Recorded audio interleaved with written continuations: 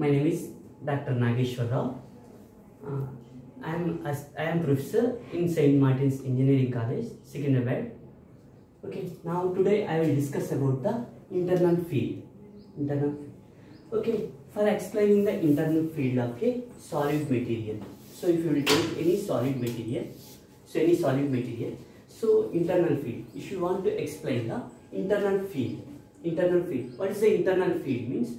So let us take any atom inside the inside the material. Any atom inside the material. What are what are the total electric field act on that material? Total field act on that material that is called as internal field or local field or Lorentz field. Lorentz field. So let us take point A. Point A that means atom A. Any atom A. Okay. So and that atom. So if you apply the external electric field, how much electric field act on that act on that atom we are calculating now. Okay. For that what we are doing means so let us take here one part. One let, let us take any material, any dielectric material here. So in that dielectric material, just I am applying the electric field. Electric field. So that means for that I am taking two one capacitor. That means two metal plates. Two metal plates. For that two metal plates. So one metal plate is connected to the positive terminal of the battery. Positive terminal of the battery. Another metal plate is connected to the negative terminal of the battery positive terminal of the battery and negative terminal of the battery so if one terminal is connected to the positive uh, that means uh, one, one metal plate is connected to the positive terminal that means what happened here? Positive charge is developed on the on this metal plate. Positive charge is developed on this metal plate. This metal plate is connected to the negative terminal. That's why what happened? Negative terminal negative charges, negative charge is what is that? Induced on that uh, here developed on that this metal plate. Negative charge is developed on the in this metal plate. Now i am placing one dielectric material in between the two metal plates in between the two metal plates okay if you place the dielectric material inside the dielectric inside the dielectric means what happened inside the electric field inside the electric field so if you place the dielectric material inside the dielectric, uh, inside the capacitor means what happened? So these dielectric material is polarized. These dielectric materials are polarized. So we are applying here positive field. Positive. That means what is the electric field direction? Positive to negative. Here applied field direction is so like this direction. Applied field direction is like this direction. Because of these electric field. Because of these electric field, what happened here? So induced charge will be developed on the in the surface as well as so induced charge will be developed on the in the surface that uh, separation of charge here that means charge is induced on the dielectric material that is called as polarization here so that means so here for that means here negative charge is induced on this on the surface of the this side and here positive charge is induced on the surface of the dielectric material on the surface of the dielectric material okay so now, so because of the applied electric field, what happened? So some charge is induced on the dielectric material. So negative charge is induced on the positive plate and positive charge induced induced in the side of negative plate. In the side of negative plate. Now, so what is the direction of what is the direction of electric field? This electric field, induced electric field. So this is the induced. That means because uh, here charge particles, negative charge particles are induced this side, positive charge particles are induced this side. So because of the charge separation here, what happened? Here also some electric field will be developed. So what is the field direction? That field direction is positive to negative. That means that is opposite direction to the applied whatever the previously applied field. So that is let us take here. So this is E2 okay let us take this is E1 E1 okay now so that means how much electric field acting on this particle here so suppose we are taking at the center of the at, at the center of the material and taking one atom okay so in that atom how much electric field acting? So because of the applied electric field so applied external field will be there now so because of that that what happen even electric field will be acting. Even electric field will be acting. So now similarly so because of the induced charge because of the induced charge so there is a some electric field acting. So because of the applied field what is what happened here? Even electric field and so because of the these induced charges because of the induced charges so there is a some e to electric field will be e to electric field will be act on that atom act on that atom. Now consider so inside the atom so many materials will so many uh, another atoms will be present another atoms will be present. For that for that for explain so due to those atoms how much electric field act on that due to those atoms how much electric field. So first i am considering so one is the applied electric field. So because of that means due to the capacitor plates. Due to the capacitor plates so even electric field act on the atom a. So next so e2 e2 means due to induced charge. Due to induced charge some electric field act on the atom a. So that is e2 okay. Now so inside the material so many atoms will be present. Due to those atoms also some electric field will be occur. That means act on that atom. So that electric field we have to calculate here for that i am taking so for that i am taking okay one symmetric shape one symmetric sphere. Like sphere shape symmetric sphere i am considering here. In that uh, so i am considering one symmetric sphere. Either it will be like a cavity like a cavity so in that uh, symmetric cavity in that symmetric cavity there is a so many number of atoms will be present. Atoms will be present. Each atom will act as a here one dipole. Each atom will act as a one dipole. That means so many number of dipoles will be there. Okay. So because of those dipoles what happened here? Some charge is induced. Suppose here negative charge is induced.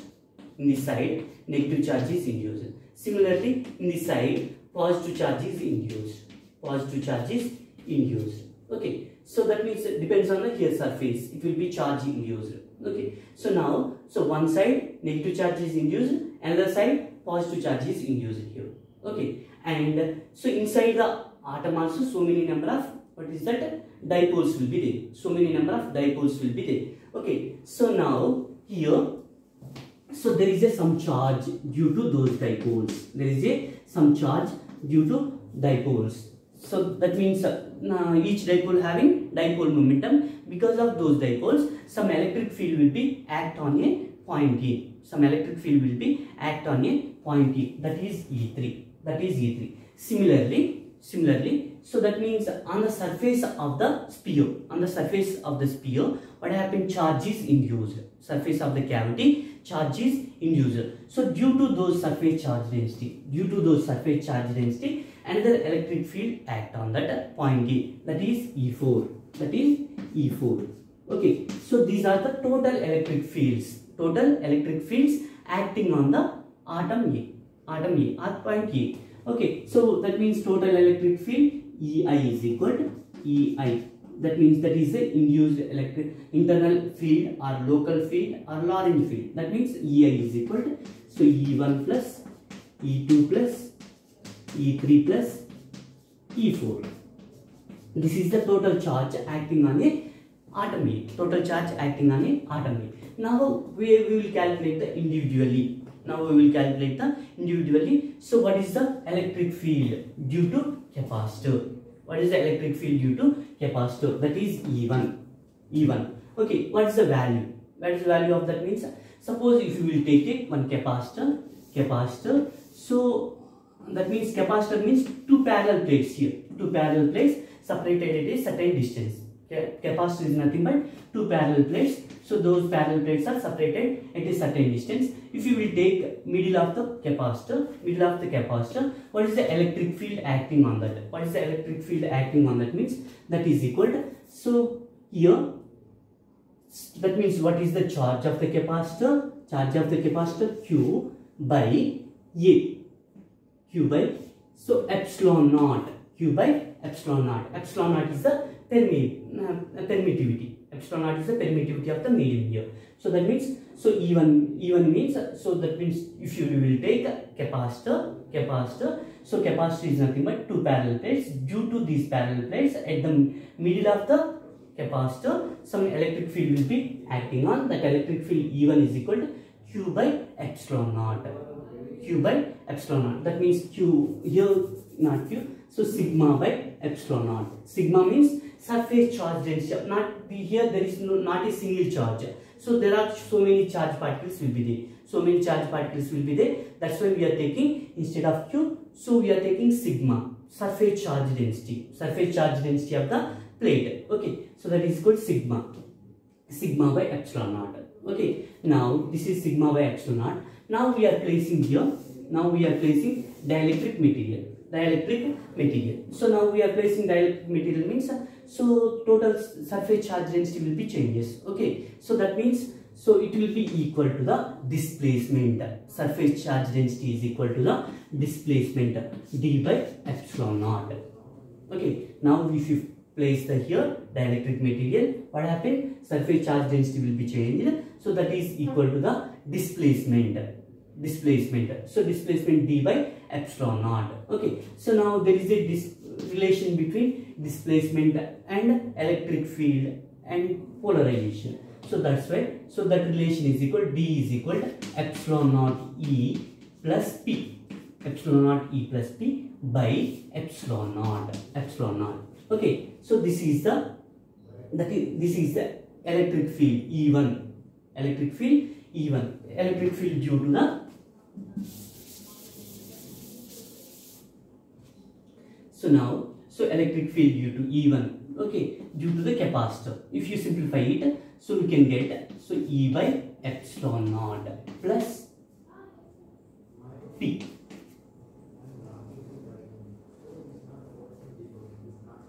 sorry E E plus P by epsilon naught. E plus P by epsilon naught. If you simplify it we can get E plus P by epsilon naught. So that is the E1 value. That means uh, this is electric field due to the capacitor. Electric field due to the so capacitor. That means what is the electric field acting on a point now so E2 E2 means so what is that so due to the these induced charges due to the these induced charges what happened? Some electric field occur on a point A. So that is E2 so what is the formula here means? Surface charge density sigma s. Surface charge density sigma s by epsilon naught. Okay. Surface charge density of the sigma s means here surface charge density of the dielectric material. Okay. That is sigma s. So sigma s by epsilon naught. That sigma s is that means uh, so we know that according to the definition of polarization so polarization is numerically equal to the surface charge density. So polarization is numerically equal to the surface charge density. So that's why here we can write p by epsilon naught. P by epsilon naught. That is so due to due to capacitor surface charge density sorry due to what is that uh, dielectric surface charge density some electric field act on that. So that equal to e2 is equal to p by epsilon naught now similarly e3 so e3 means here electric that means uh, if you will take inside the material if you will take inside the material we are assuming here one uh, symmetrical sphere or symmetrical cavity. In that symmetrical cavity there are so many number of dipoles that means so many number of atoms will be there.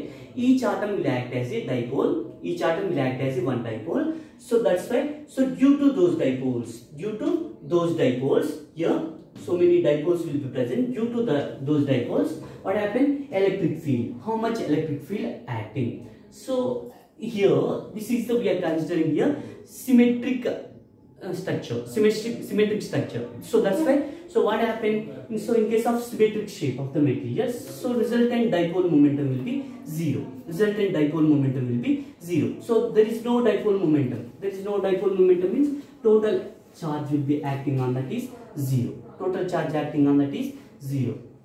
Okay now coming to the so electric field e4 so electric field e4 e4 is nothing but here. So due to the the surface charge. So, sorry due to the surface charge density of the spherical sphere. Due to the surface charge density of the spherical sphere here.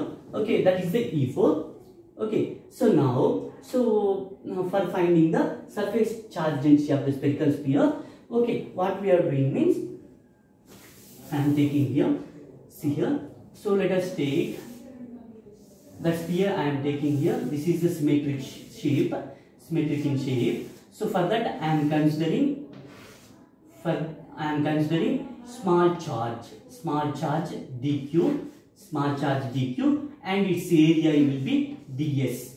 Area will be ds. Okay. Now due to that small charge, so some electric field acting on that point A. So due to that small charge, some electric field acting on that point A. Okay. So that means according to the sphere. So what is the charge acting on that sphere means? So E4 is equal to 1 by 4 pi epsilon naught 1 by 4 pi epsilon naught into due to the small charge dq due to the so here we are taking small charge. So that's why here we will take de4 de4 we are not taking total charges. Only we are taking due to the small charge. So that's why so there is a some electric field de4 that equal to 1 by 4 pi epsilon naught into q by r square q by r square. R is the distance. Okay so distance between the radius. That means here uh, center i am taking a so that's why so this is the radius so this also radius. Okay now uh, here this is the spherical shape. Spherical shape means like a football shape. Okay i am taking some small surface area on that. Small surface area means it will be if you will take total around means so it will be like a ring. It will be like a ring. Okay so what is this? If you will take center of the ring this is the center of the ring. I am joining that that is the center of the ring. Let us take this is yes let us take this is yes. Okay now i am joining the so this from here to here. Okay this is let us take this is the p and this is the q. This is the q. Okay so otherwise uh, p is already there for us that's why let us take r. Okay let us take r. Okay now so from this so this small surface area the small surface area making an angle with parallel axis theta. Making an angle with parallel axis theta okay? And that small part making an angle d theta d theta okay? So that means this is a sector. Qr is the sector here. What is the sector means? So here qr is the sector. Qr is the sector means what is the sector? So sector is equal to we can write r into d theta r into d theta. And so now radius of the ring. So radius of the ring means so this is the radius of the ring okay so from this tri- triangle a from this triangle a s r. From this triangle asr so this angle is 90 degrees here this angle is 90 degrees here. From this triangle so that means rs. Rs is equal to, so that means up here sin theta is equal to we can write sin theta is equal to we can write rs by rs rs by ar okay ar means radius of the uh, radius of the sphere. See here. Ar is the radius of the sphere here. Okay so that's why so rs is equal we can write into so small r sine theta small r sine theta. This is the radius of the ring radius of the ring. So this is the that means width of the ring width of the ring. So now for finding the uh, here we are taking small charge dq now so that means for finding the polarization here. That means uh, yeah. So dq value we have to calculate. Dq value we have to calculate means so here so that means uh, some polarization will occur. So that polarization is p. So let us take that polarization direction will be so like this direction. Okay. So that polarization also divided into so two parts. One is the horizontal component. Suppose if you will take these two parts so so here also some polarization will occur. Here also some polarization will occur. So this is we can convert it into two parts so one is the horizontal direction one is the vertical direction. So vertical direction is peak sin theta. So vertical directions are opposite in direction. So that's why these two are cancelled out with each other. These two are cancelled out with each other. Only resulting is p cos theta p cos theta. Okay. Now p cos theta is equal to so dq by dA dq by dA. From this we can calculate dq value now dq is equal to p cos theta into p cos theta into dA p cos theta into dA okay now so we know that uh, here what is that uh, uh, area so area of the ring we have to calculate here so dA means area of the ring area of the ring means okay area of the ring we have to calculate here area of the ring so area of the ring means so circumference of the ring into width circumference of the ring. Circumference means 2 pi r. Circumference means 2 pi into radius of the ring. What is the radius here? So this is rs is the